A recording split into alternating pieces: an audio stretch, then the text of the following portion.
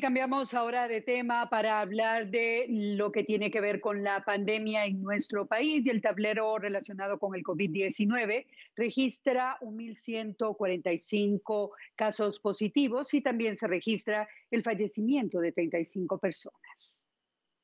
El tablero Situación COVID-19 en Guatemala fue actualizado por el Ministerio de Salud y Asistencia Social. El reciente reporte es con fecha del 4 de agosto de 2020. Durante las últimas horas se confirmaron 35 fallecidos, llegando a un total de 2.072 personas que han perdido la vida. Además, 914 personas se recuperaron, por lo que hacen un total de 41.199.